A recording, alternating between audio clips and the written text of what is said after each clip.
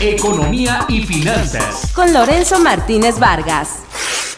Bueno, pues el gobierno federal hará un recorte al gasto programable de 43.800 millones de pesos que le ayudará a cumplir con el compromiso de, reducir la deuda pública, de acuerdo con los precriterios generales de política económica. La estimación es que para 2018 la economía avance entre 2 y 3%. Con dichos ajustes para 2018 la tasa de crecimiento promedio entre 2015 y 2018 es de 2.3%, lejos de la expectativa que anticipaba la de a principios de este sexenio en el Programa Nacional de Financiamiento del Desarrollo, donde ese lapso calculó una expansión de 5% con la distribución de las reformas estructurales. El economista en jefe de la Secretaría de Hacienda y Crédito Público, Luis Madrazo Layuz, aseguró que no se ha logrado esa meta por la caída de los precios del petróleo y la menor producción industrial en Estados Unidos. Para Economía y Finanzas, su amigo Lorenzo Martínez Vargas.